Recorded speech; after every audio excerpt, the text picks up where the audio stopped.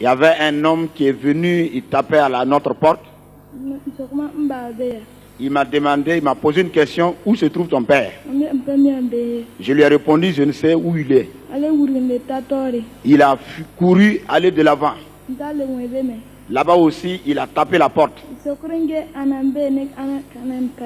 Il a posé la question là-bas, qui est là et qui n'est pas là?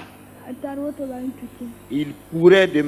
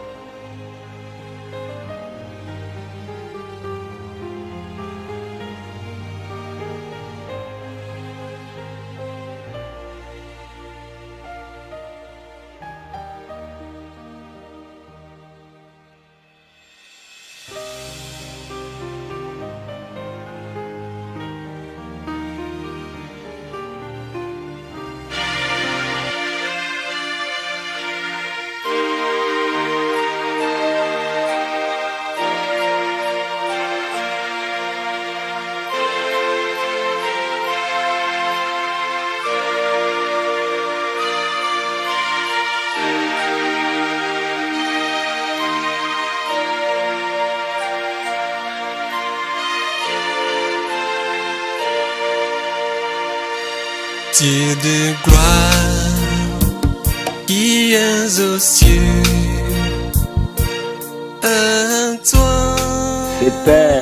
comme un jour de fête. Tout le monde mangeait et buvait au hasard. Tout le monde buvait au hasard. Toutes euh, les buvettes étaient remplies. Tous les bars étaient remplis. Tout le monde marchait au hasard. Il y avait partout de la musique au hasard. Personne ne se souciait de Dieu ni de Jésus. Chacun faisait ce qu'il voulait. yuuram Il y a d'autres aussi qui étaient assis qui buvaient de l'alcool. yuuram Il y a d'autres aussi chrétiens qui se sont mêlés aux hommes, aux gens du monde et buvaient de l'alcool. Il y a d'autres aussi qui priaient. Il y a d'autres aussi qui priaient plus que les autres. bamba Hmm? ne veut pas que nous nous associons à eux. jagatize Et il nous a dit d'aller arroger des, arbres, des, arbres. Et quand nous sommes partis arroger les arbres au retour, Euh, tout à coup, il ne faisait pas nuit, il ne faisait pas aussi jour. Fere. Et sur place, il y avait l'obscurité en plein jour et j'ai entendu euh, la trompette sonner. Et quand la trompette a sonné, Jésus a enlevé ses disciples. Et quand la trompette a sonné, même en un clin d'œil, tu ne verras plus qu'un disciple de Jésus sur la terre. Et nous, nous sommes, nous avons fui, nous sommes rentrés dans une maison. Il y avait un homme qui est venu, il tapait à la, notre porte. Il m'a demandé, il m'a posé une question, où se trouve ton père? Je lui ai répondu, je ne sais où il est. Il a couru aller de l'avant. Là-bas aussi, il a tapé la porte. Il a posé la question là-bas, qui est là et qui n'est pas là? Il courait de maison en maison et il allait de l'avant. Quand la trompette a sonné, la joie a disparu dans toute l'étendue du monde. C'est parce qu'il y a toujours les enfants de Dieu sur la terre. C'est parce que le Saint-Esprit est encore dans ce monde Que toi et ton père, vous pouvez manger ensemble, ou bien toi et ta mère, vous pouvez manger et communier ensemble. C'est parce que l'Esprit de Dieu est encore dans ce monde que tu peux encore lier des amitiés et marcher avec ton ami. C'est l'Esprit de Dieu qui nous attire et nous assemble. Toi, tu crois que c'est toi qui aimes les gens par toi-même. Si Jésus vient et enlève l'Église, le Saint-Esprit partira aussi. C'est le Saint-Esprit qui, qui vous attirait ensemble. Si le Saint-Esprit part, vous êtes devenus des ennemis. Personne ne connaîtra, lui là, c'est mon enfant. Chacun devient ennemi, même entre père et mère.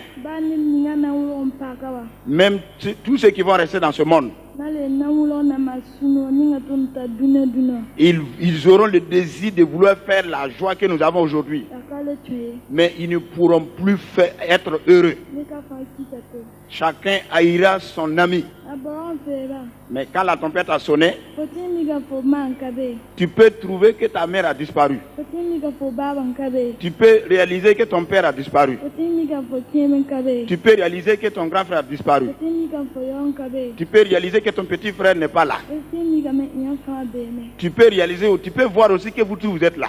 Abaran fera ne ba jetin tute yare. Et quand la tempête a sonné, les gens couraient de tort à travers. Sen. Son- le papa, lui, il va vers ce côté. L'enfant aussi va vers ce côté. La maman aussi va vers où elle veut aller. Chacun court vers une direction inconnue. Même si tu étais riche, toi aussi tu cours au hasard. Chacun se cherchait.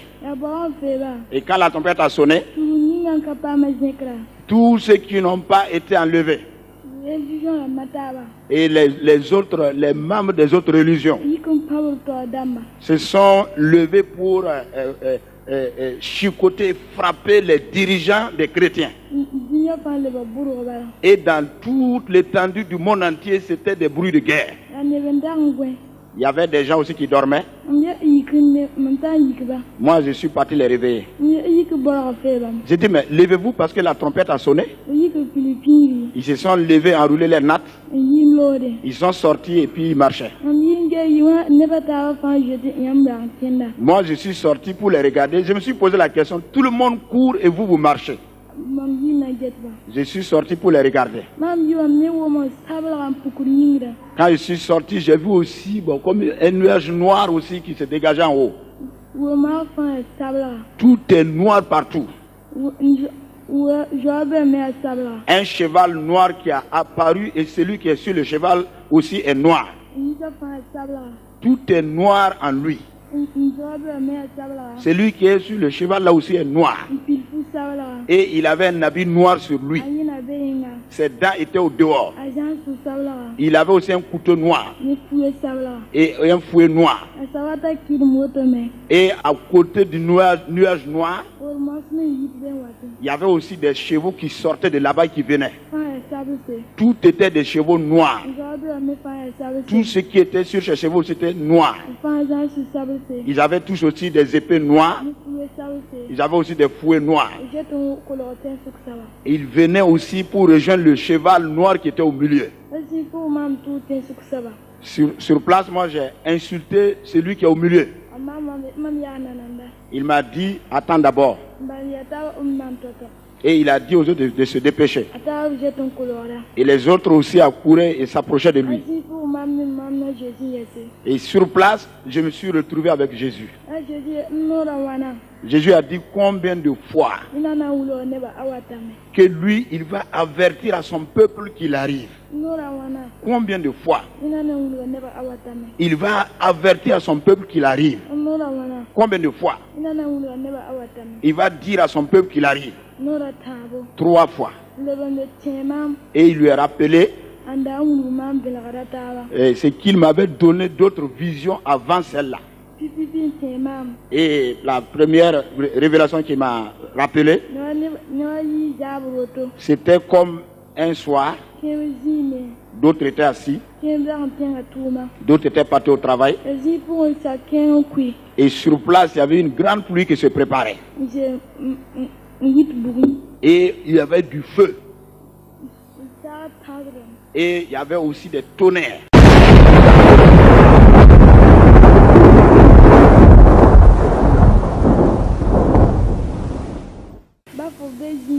Partout où tu te trouvais, toi-même, tu vas courir chercher un coin pour te caser. ba fo ka tõe n paam zakẽ wã Même si tu peux même pas arriver chez toi, tu vas chercher un coin où tu vas réellement te protéger. a saag kuiim wa sobra Et la pluie s'est préparée, il y avait des nuages et tout était noir. Et tout d'un coup, l'atmosphère était devenue sombre. Toutes les lumières étaient éteintes. Même si tu veux allumer, tu ne peux même pas allumer du feu. Tu allumes, mais ça ne marche plus.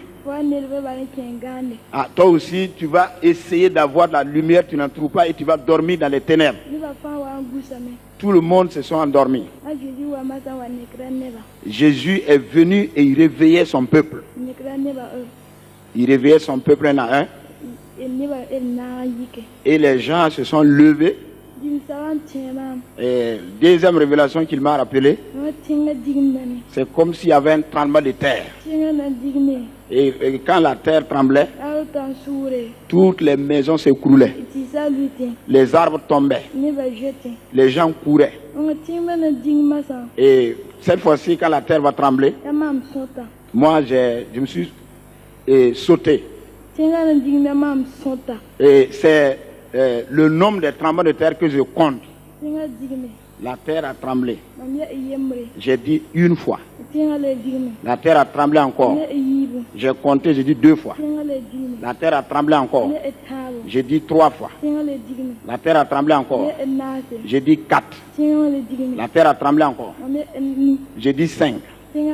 La terre a tremblé encore. J'ai dit six. tẽngã digme La terre a tremblé encore. J'ai dit sept. tẽngã la digme La terre a tremblé.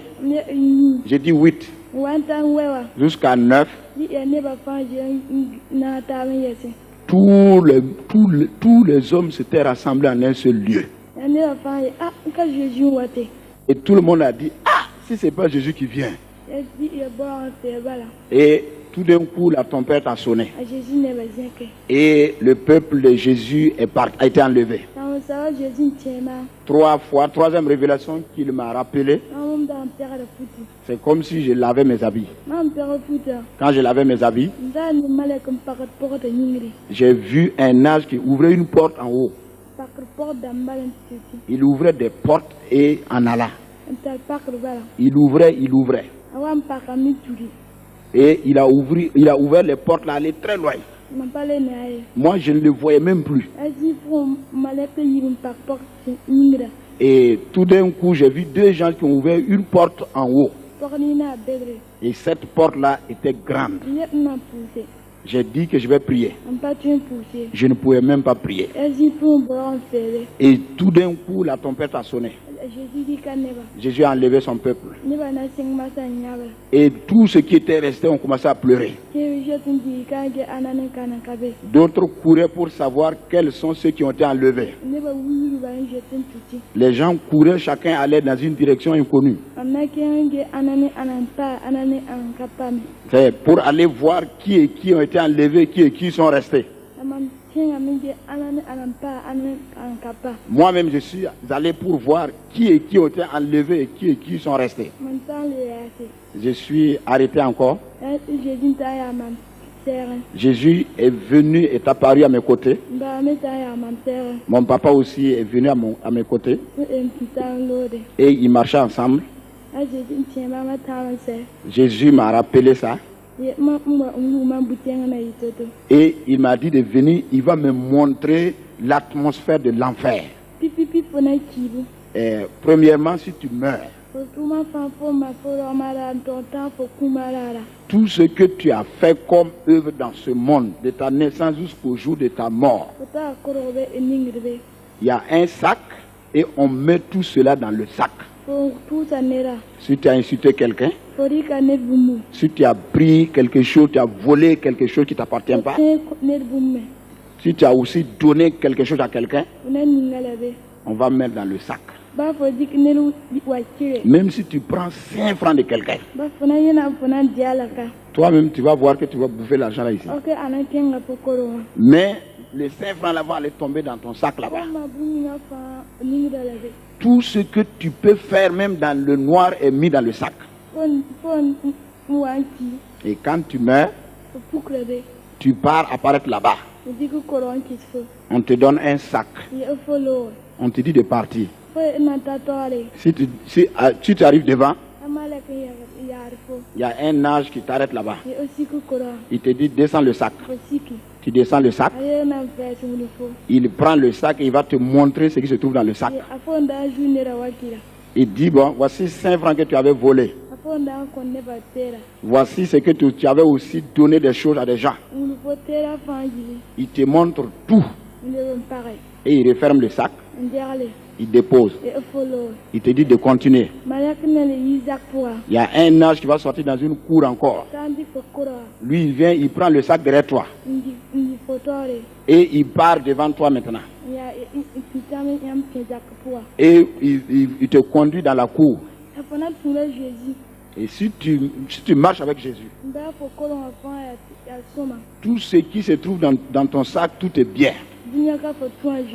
Dans ce monde ici, tu as marché avec Jésus. Il n'y a pas de péché dans ton sac. Quand tu arrives devant la porte,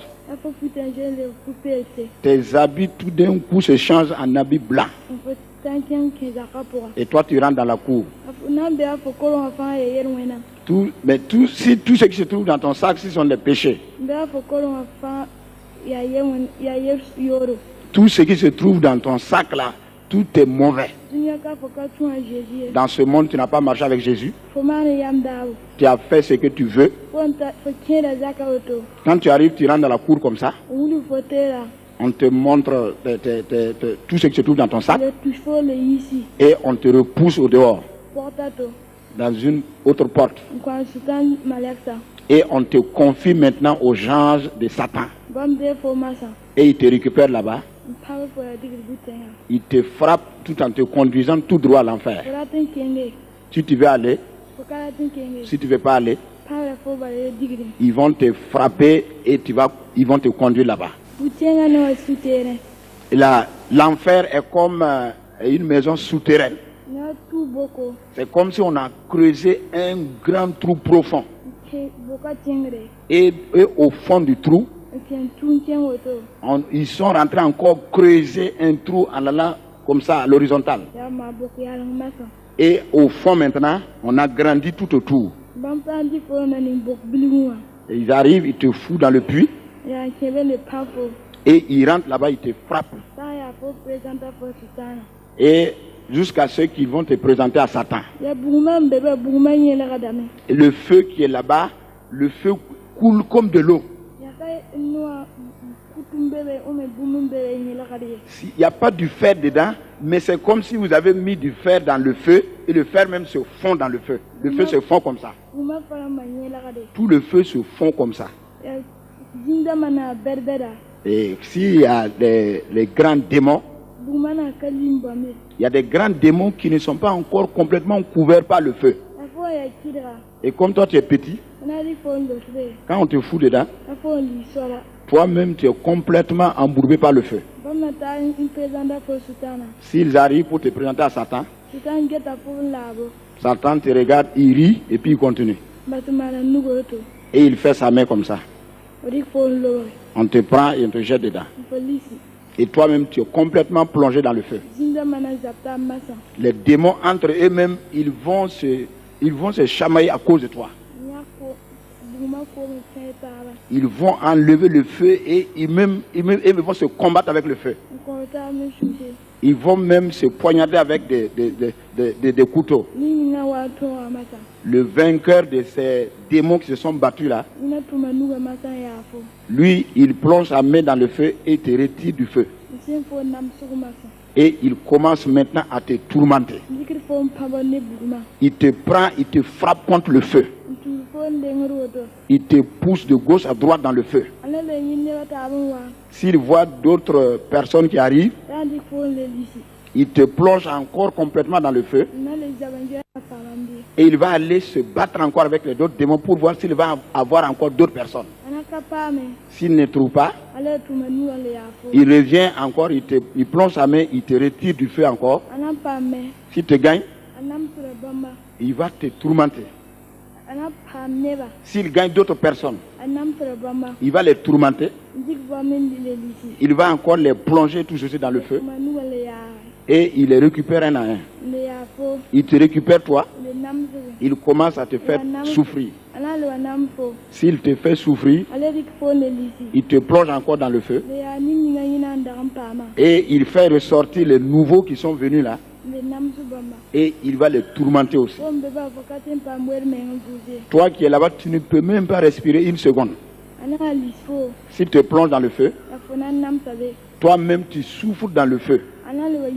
S'il te fait sortir aussi, il va te faire souffrir et tu vas souffrir. Mais dans le feu, il y a des petits enfants, il y a des grands, il y a des garçons, il y a des femmes. Jésus a dit que le feu de ce monde-là, si tu mets ton doigt dedans, c'est comment? Mais le, il compare le feu de ce monde comme de l'eau fraîche. Et le feu de l'enfer va être ter- terrible encore davantage. Et c'est ce qu'il a vu. Plus que ce que lui il a vu. Que personne ne connaît la profondeur du, de l'enfer. Personne aussi ne connaît aussi la largeur de l'enfer. Il m'a dit de prier sans cesse. Il m'a dit de prier beaucoup. Et quand nous sommes sortis là-bas, nous sommes arrivés près d'un arbre. L'arbre était grand. Personne ne peut faire, finir de faire le tour de l'arbre. Mateka Même si tu prends toute ta vie, personne ne peut fa- faire le tour de l'arbre. Et l'arbre était sec, était tout blanc. Et l'arbre était penché. L'arbre voulait tomber. Et sur l'arbre, il n'y avait même pas une seule feuille.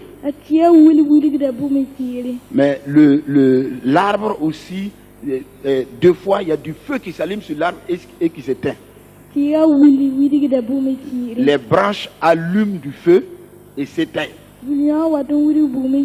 S'il y a une branche qui allume, qui donne le feu et puis s'éteint, a wuli o wila yen lere il y a une autre branche qui aussi qui reprend immédiatement à la suite.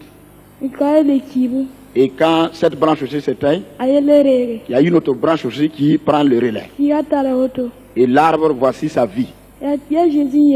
Et Jésus a dit, est-ce que je comprends pourquoi les branches de l'arbre donnent le feu et s'éteignent? Ayo J'ai dit que je ne comprends pas. Il m'a dit, est-ce que je n'ai jamais appris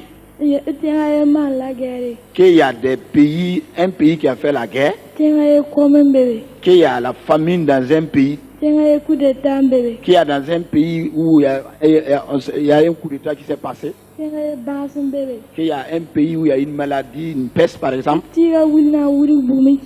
et quand l'arbre donne le feu et s'éteint, quand la branche de l'arbre donne le feu et s'éteint, ça demande que dans notre monde, il y a un problème terrible dans un pays sur la terre. Et qu'il m'a dit qu'il y a un jour où toutes les branches vont donner du feu. Et il y a euh, un- une période où le monde sera en feu. Et il y a un jour où l'arbre qui est déjà penché, sec et qui donne le feu va tomber. Et il y a un jour aussi où ce monde-là va s'écrouler. Et sur l'arbre là, il y a quelqu'un qui est assis là-bas avec sa chargé. Jésus m'a demandé est-ce que tu connais celui qui est assis sur l'arbre là avec sa ayo. J'ai dit non. Ba. Il m'a dit que c'est le prince de ce monde, que c'est Satan en personne. Et c'est lui qui va venir faire souffrir les hommes. Et il y a des trous sur l'arbre. En bas de l'arbre, il y a des trous. Et dans les trous là, bɛbɛ. il y a des serpents dans le trou. D'autres sont des serpents. Et ils ont des têtes d'hommes. D'autres, c'est des serpents. Et qui ont des cornes. Jésus ma dit, mais est-ce que je connais les serpents qui sont autour de l'arbre?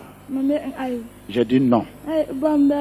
Sɛgɛ. Il dit que ce sont ceux qui sont derrière Satan et qui rentrent dans ce monde pour travailler pour Satan. Et il m'a dit de prier sans cesse. Et quand nous sommes quittés là-bas, nous sommes arrivés au bord du monde. Quand nous sommes arrivés là-bas, on dirait que notre monde était prisonnier. Il y a des grands démons qui ont fait, euh, euh, qui se sont encerclés. D'autres sont des êtres humains et ils ont des têtes euh, de lions. D'autres aussi sont des lions qui ont des têtes d'hommes. D'autres sont des êtres humains. Ils ont des têtes de panthères. D'autres sont des panthères qui ont aussi des têtes d'hommes. Et ils ont... hmm, C'est comme si ils ont pris la moitié du corps de l'homme et prendre aussi la moitié du corps des animaux et, et, rassemble- et mettre ensemble. Et, et tous étaient noirs. Ils avaient des couteaux noirs et des fouets noirs. Et des fois, ils, ils courent en avant tout d'un coup. pɔgɔ Ils veulent rentrer dans ce monde. Et quand ils, ils- ils décident de rentrer, ils ne peuvent pas. Ils s'arrêtent du coup le et ils reculent encore en arrière. Et ils se préparent pour revenir à nouveau. Ils veulent rentrer dans le monde, mais ils ne peuvent pas rentrer dans le monde.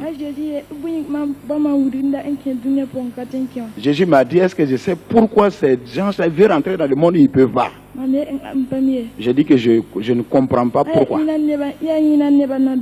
wa Il m'a dit que c'est parce qu'il y a toujours son peuple dans ce monde. C'est parce qu'il y a l'Esprit de Dieu encore dans ce monde que cela ne peut pas rentrer dans ce monde. Et quand lui il va enlever l'église, son esprit aussi va partir. Et tout ce que je vois là, ils vont rentrer dans le monde. Et derrière eux, il y a, il y a une grosse pierre. La pierre là est tellement grosse. Et, et elle est- il y a du feu sur la pierre. Et sur place, je me suis retrouvé seul. Et le monde entier était devenu comme une poubelle. Beaucoup de maisons sont disparues. Beaucoup d'arbres aussi sont disparus. Il y avait aussi des grandes maisons qui sont écroulées. des, grands arbres aussi qui sont déracinés. Le monde entier était devenu une poubelle. Et sur place, j'ai vu la grande pierre là qui, qui, qui roulait. La pierre a commencé à rouler et euh, rouler sur le monde. Et quand la pierre marchait sur le monde, le monde était détruit en cendres comme de la poussière. Et la pierre roulait doucement, lentement et faisait son chemin. la pierre roulait sur la terre. Et là où la pierre passe, c'est du ferro. C'est un arbre. Même si c'est quoi que ce soit. Même si c'est l'argent. Si la pierre roule sur du fer, de l'argent, du n'importe quoi, ça devient de la poussière comme de la cendre. Et la pierre roulait sur le monde. Et partout, tout est devenu comme poussière. Et en bas de notre monde, c'est rempli de ténèbres. Et quand la pierre a marché sur le monde et tout est devenu de la poussière, l'obscurité qui se trouve en bas de notre monde apparaît sur notre monde. Et tout est devenu poussière. Tout est devenu noir, ténèbres. Et les ténèbres envahissaient le monde. Les ténèbres envahissaient petit à petit. Et le monde devenait de plus en plus ténébreux. Et quand la pierre s'approchait de moi, j'ai encore vu le monde dans son ancien état. Et j'ai vu aussi la pierre qui était tout retournée à sa place. J'ai vu tout ce qui était entouré dans le monde, tout, ce qui entourait le monde. Et je me suis euh, retrouvé encore avec Jésus. a jésus i y'a o da tun dunia na sami Et Jésus m'a dit que voici de quelle manière notre monde sera détruit. Et quand nous sommes quittés là-bas, nous sommes euh, arrivés à côté près de- d'une cimetière.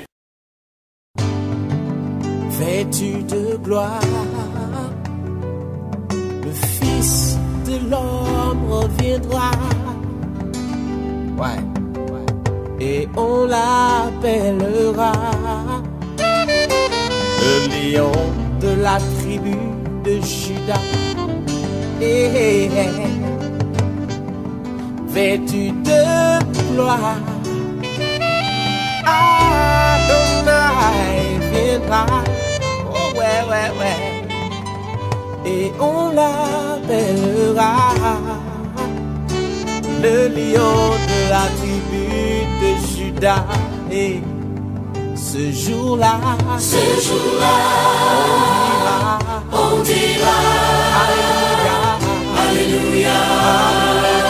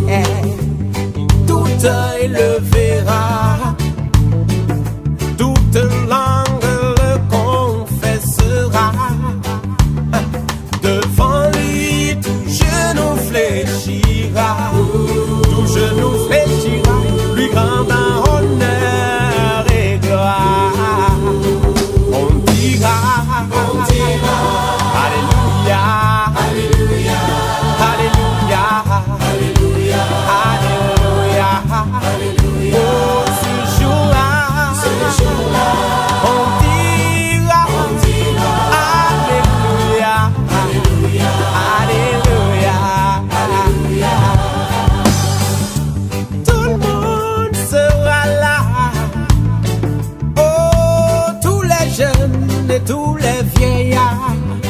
Ah, les enfants. J'imagine tous ces enfants qui monteront sur les épaules de papa. Envie de voir ça. L'aveugle le verra. Et même le sourd l'entendra. Oh, yo, yo, yo. Le muet le chantera.